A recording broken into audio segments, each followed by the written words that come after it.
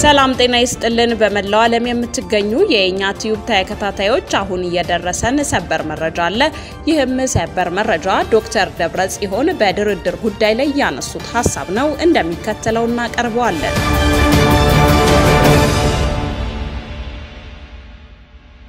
ህወሓት ለድርድር በማያቀርባቸው ጉዳዮች ላይ ሰጥቶ መቀበል አይሰራም ሲሉ ዶክተር ደብረጽዮን ተናገሩ። እየተደረገ ባለው የሰላም ጥረት ውስጥ ለድርድር በማይቀርቡት አምስት የትግራይ ህዝብ መሰረታዊ ጉዳዮች ሰጥቶ መቀበል እንደማይኖር የህወሓት ሊቀመንበር ዶክተር ደብረጽዮን ገብረ ሚካኤል ተናግረዋል። ዶክተር ደብረጽዮን ህወሓት የትጥቅ ትግል የጀመረበትን 47ኛ ዓመት በማስመልከት በሰጡት መግለጫ ላይ እንደተናገሩት ከመንግስት ጋር በተለያዩ ወገኖች አማካይነት ንግግር እየተደረገ መሆኑን አመላክተው ነገር ግን ለድርድር የማይቀርቡ ጉዳዮች እንዳሉ ገልጸዋል። በዚህም መሰረታዊ የትግራይ ህዝብ ጥያቄዎች ናቸው ያሏቸውን አምስት ጉዳዮችን ዘርዝረዋል። በመጀመሪያ ደረጃ በሰራዊታችን ላይ አንደራደርም አሁን ያለው ብቻ ሳይሆን ገና እንጨምርበታለን። ስለዚህ በሰራዊታችን ጉዳይ ላይ አንደራደርም። ከዚህ በኋላም ኃይላችንን ይዘን ነው የምንኖረው በማለት ተናግረዋል። ከዚህ በተጨማሪም በአገሪቱ ህገ መንግስት የታወቁ የትግራይ ክልል ወሰን ጉዳይ፣ የኤርትራ ሰራዊት ከትግራይ መውጣት፣ የትግራይ ህዝብ የራሱን እድል በራሱ የመወሰን መብት ጉዳይና በትግራይ ህዝብ ላይ በደል የፈጸሙ ግለሰቦች ተጠያቂነት ለድርድር አይቀርብም ብለዋል። ዶክተር ደብረጽዮን ጨምረውም እየተደረጉ ባሉት የድርድር ጥረቶች ውስጥ እነዚህ አምስት ቅድመ ሁኔታዎች ዋነኞቹና ሊጣሱ የማይገቡ የድርድር ነጥቦች መሆናቸውን ጠቅሰው ሰጥቶ መቀበል የሚባለው ጉዳይ እዚህ ላይ አይሰራም ብለዋል። ነገር ግን ጦርነቱ በድርድር መፍትሄ እንዲያገኝ የተለያዩ ወገኖች የማሸማገል ጥረት እየተደረገ መሆኑን የገለጹት ሊቀመንበሩ የአፍሪካ ህብረትን በመወከል የቀድሞ የናይጄሪያ ፕሬዝዳንት፣ በተመሳሳይም የኬንያው ፕሬዝዳንት የአሜሪካና የአውሮፓ ህብረት ልዑካን የየበኩላቸውን እየሞከሩ መሆናቸውንም ገልጸዋል። በእኛ በኩል አሁንም የሰብአዊ እርዳታ በሮችን ለማስከፈት ተኩስ ቆሞ ባንኮች እንዲከፈቱ፣ ገንዘብ፣ ነዳጅ እንዲሁም የተለያዩ አቅርቦቶች እንዲመጡ ተግተን እየሰራን ነው በማለት የተስፋ ጭላንጭል አለ ብለዋል። ነገር ግን ሰላም ለማምጣት አስቸጋሪ ሁኔታዎች እንዳለ የገለጹት ዶክተር ደብረጽዮን ይህንን በመገንዘብ አስፈላጊውን ስራ እያከናወኑ መሆናቸውንም አመላክተዋል። ጊዜ የነጎደ መሆኑን በመግለጫ ቸው ላይ የጠቀሱት የህወሓት ሊቀመንበር ሁላችንም ልንገነዘበው የሚገባው ነገር በሮች ሁሉ ተዘግተውብንና ከበባ ውስጥ ሆነን ብዙ ልንቆይ አንችልም። ተስፋውም ቢሆን በአጭር ጊዜ እውን የሚሆን ከሆነ እናያለን ብለዋል።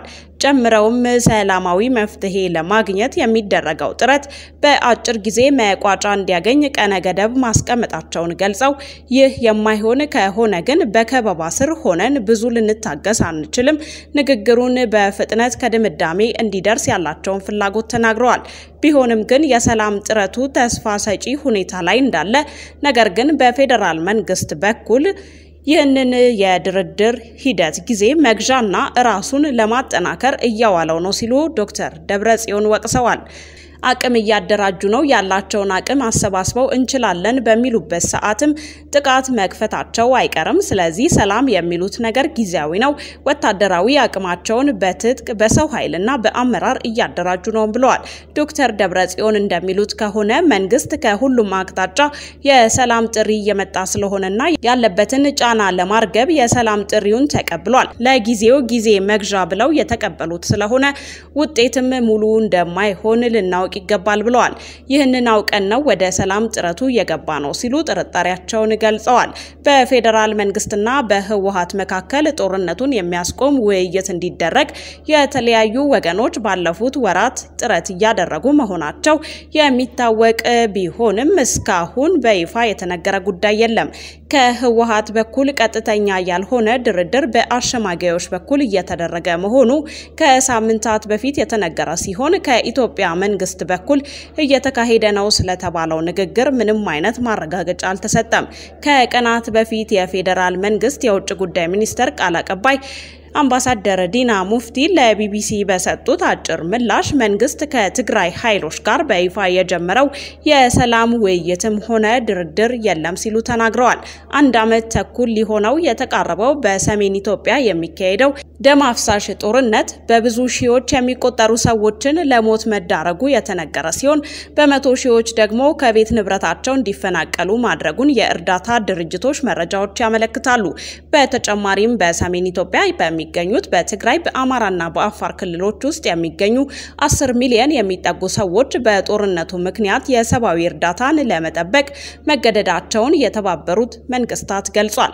ይህንን ጦርነት ለማስቆምም አሜሪካና የአፍሪካ ህብረት ልዩ መልእክተኛ መድበው ለወራት ጥረት እያደረጉ ቢሆንም በአንዳንድ አካባቢዎች በተለይም በአፋር ክልል ውስጥ ከባድ ጦርነት እየተደረገ መሆኑን የክልሉ መንግስትና የእርዳታ ድርጅቶች ተናግረዋል። ተመልካቾቻችን አሁን ደግሞ ኢሳያስ ወደ አሰናዳው የተለያዩ የተመራረጡ ዜናዎች እናልፋለን።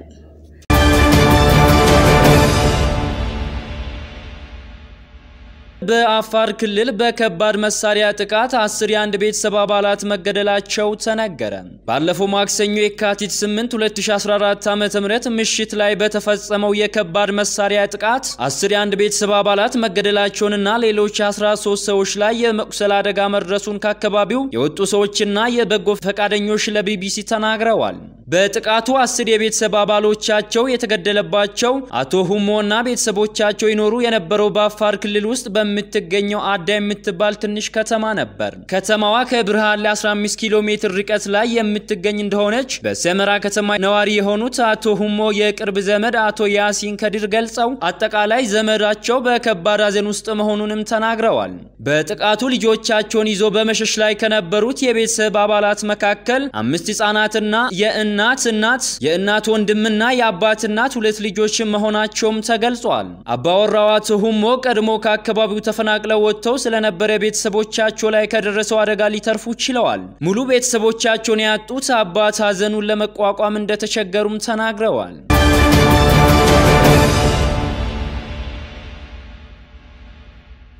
መንግስት የሰራተኞችን ደህንነት አላስጠበቀልኝም ስል የኢትዮጵያ ቀይ መስቀል ማህበር አስታወቀም። በሰሜኑ የኢትዮጵያ ክፍልና በኦሮሚያ ክልል አንዳንድ አካባቢዎች ሰራተኞች የተለያዩ ስራዎችን ለመስራት በሚወጡበት ወቅት መንግስት ተገቢውን ጥበቃ እያደረገልኝ አይደለም ሲል የኢትዮጵያ ቀይ መስቀል ማህበር አስታወቀም። ምክትል ዋና ጸሐፊ እንግዳ ማንደፍረው ለአዲስ ማለዳ እንደገለጹት ባለፈው ወር በሰሜኑ የኢትዮጵያ ክፍል በነበረው ጦርነት ጉዳት ለደረሰባቸው በአማራ ክልል የደቡብ ወሎ፣ ሰሜን ወሎና በዋግምራ ዞን እንዲሁም በአፋር ክልል በተለያዩ አካባቢዎች ለሚገኙ ዜጎች ምግብና ምግብ ነክ ያልሆኑ ቁሳቁሶችን ድጋፍ ማድረጉንም ተናግረዋል።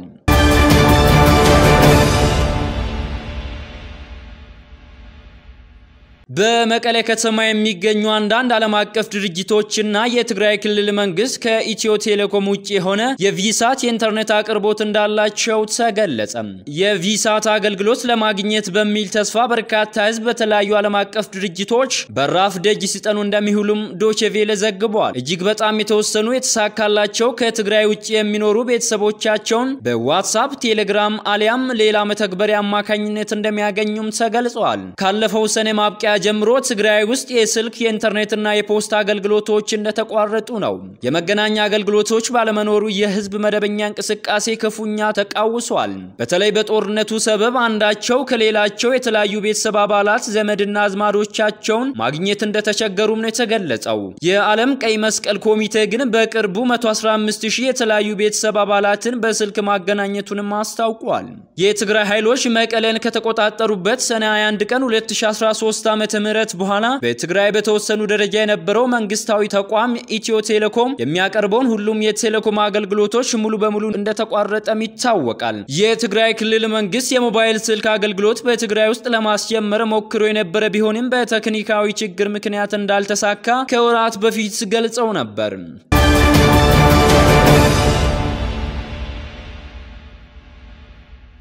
የኢትዮጵያ ታላቁ የህዳሴ ግድብ በነገው ዕለት በይፋ ኃይል ማመንጨት ሊጀምር መሆኑ ተገለጸ። የግድቡ ኃይል ማመንጨት ስነ ስርዓት ለህዝብ በቀጥታ ቴሌቪዥን እንደሚሰራጭም ተነግሯል። ግንባታው ከተጀመረ 11 ዓመታትን ሊደፍን አንድ ወር የቀረው የታላቁ የህዳሴ ግድብ በነገው ዕለት በይፋ ኃይል ማመንጨት እንደሚጀምርም ታውቋል። ግድቡ ያለፉትን ሳምንታት የኃይል ማመንጨት ተርባይኖች የማምረት ብቃት ሙከራ የተደረገለትና የተሳካ ውጤት ማስገኘቱም ተነግሮለታል። ይህን የግድቡን ታሪካዊ ምዕራፍ ለህዝብ ይፋ ለማድረግ መንግስት ዝግጅት እያደረገ መሆኑ ሲነገር በዕለቱ በግድቡ ስፍራ የተለያዩ መርሃ ግብሮች በቀጥታ የቴሌቪዥን ስርጭት ይፋ እንደሚደረግም ተገልጿል። የግድቡ ግንባታና ውሃ የመያዝ ሂደቱ በቀጣዮቹ ዓመታት የሚቀጥል ነው። በግድቡ ዙሪያ ከታችኛው የተፋሰስ ሀገራት ጋር የሚደረገው ድርድር አዲስ ገጽታ ይኖረዋል ተብሎ ይጠበቃል። ታላቁ የኢትዮጵያ ህዳሴ ግድብ በ2012 እና 2013 ሁለት ክረምቶች ላይ ለተከታታይ ጊዜ ውሃ መያዝ ችሏል። በቤንሻንጉል ጉሙዝ ክልል በጉባ ወረዳ የሚገኘው ታላቁ የኢትዮጵያ ህዳሴ ግድብ የግንባታው መሰረተ ድንጋይ የተቀመጠው መጋቢት 24 2003 በቀድሞ የኢትዮጵያ ጠቅላይ ሚኒስትር መለስ ዜናዊ ነበር። የግድቡን ግንባታ ከሚያከናውኑ ስራ ተቋራጮች መካከል የጣሊያኑ ሳሌኒ ኢምፔጅሮሎ ይጠቀሳሉ። የግድቡን ስራ በዋና ስራ አስኪያጅነት ከመሩት መካከል ሐምሌ 19 2010 በመስቀል አደባባይ ህይወታቸው ማለፉ የተነገረው ኢንጂነር ስመኞ በቀለ የእርሳቸውን እልፈት ተከትሎ በጊዜያዊነት የተተኩት ኢንጂነር ኤፍሬም ወልደ ኪዳንና ኢንጂነር ከፍያለ ሆሮ ይጠቀሳሉ። የዋናው ግድቡ ከፍታ 145 ሜትር ሲሆን ርዝመቱ 1.8 ኪሎ ሜትር ነው። የዋናው ግድቡ ውፍረት የግድቡ ግርጌ ላይ 130 ሜትር ሲሆን የግድቡ ጫፍ ወይንም የላይኛው ክፍል ደግሞ 11 ሜትር ነው። ግድቡ የሚይዘው የውሃ መጠን 74 ሚሊዮን ኪዩቢክ ሜትር ሲሆን ግድቡ የሚሸፍነው የቦታ ስፋት ደግሞ 1680 ስኩዌር ኪሎ ሜትር ነው።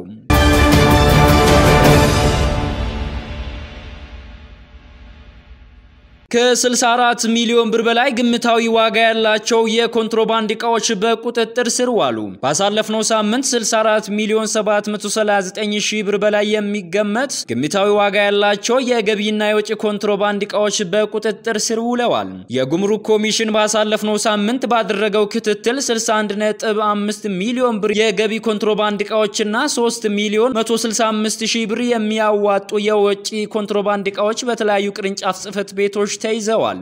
የገቢ ኮንትሮባንድን በመቆጣጠር ረገድ ቀዳሚውን ስፍራ የሚይዙት ሞያሌ፣ ጅግጅጋና ድሬዳዋ ቅርንጫፍ ጽሕፈት ቤቶች ሲሆኑ በቅደም ተከተላቸው 13.9 ሚሊዮን፣ 12.9 ሚሊዮን እና 11.1 ሚሊዮን ብር በላይ የሚያዋጡ ኮንትሮባንድ ዕቃዎችን መያዝ ችለዋል። የኮንትሮባንድ ዕቃዎች በጉምሩክ ኮሚሽን ሰራተኞች፣ በፌዴራል ፖሊስ፣ በክልሉ ፖሊስ አባላትና ህብረተሰቡ ባደረጉት የጋራ ጥረት በፍተሻና በጥቆማ ተይዘዋል። በቁጥጥር ስር ከዋሉት የኮንትሮባንድ ዕቃዎች መካከል አልባሳት፣ ኤሌክትሮኒክስ፣ ቡና፣ መድኃኒት፣ የመዋቢያ ዕቃዎች፣ የጦር መሳሪያዎች፣ ጫት፣ አደንዛዥ እጾችና የተለያዩ አገር ገንዘቦች ይገኙበታል።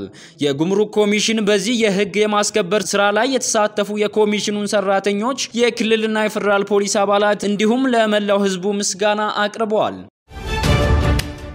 የተወደዳችሁ የእኛ ቲዩብ ሚዲያ ቤተሰቦች ለሰዓቱ ያዘጋጀንላችሁ መረጃዎች የእስካሁኑን ይመስላሉ። እስከ መጨረሻው አብራችሁን ስለቆያችሁ እጅግ አድርገን እናመሰግናለን። በሌላ መረጃ እስክንገናኝ መልካም ቆይታ